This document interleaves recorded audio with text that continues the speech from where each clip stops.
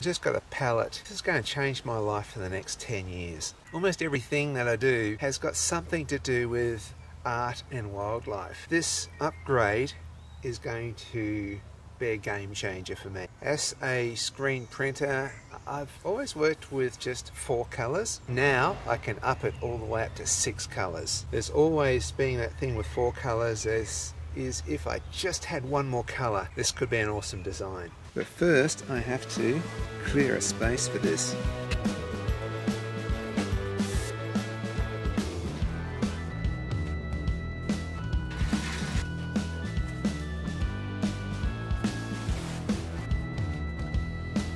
This is getting more technical than a TARDIS console.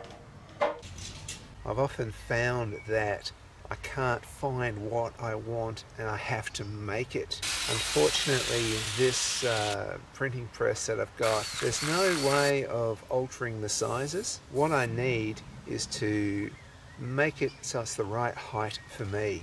I'm going to be working on this for the next 10 years. 35 years I've been screen printing and it takes its toll on your back. And so instead of being hunched over like this, I'm going to be, instead of doing this, I'll be doing this. I always just measure from my elbow to the ground, a comfortable working space. I just, you know, when I watch uh, YouTube, I see some of the other screen printers working away and they're sort bent over like this. I was thinking, man, I've been doing this for 30 years. I couldn't do 30 years like that.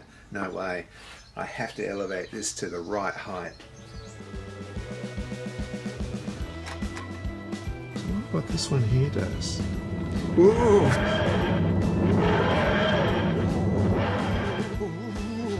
Stop, stop, stop, stop. Ooh.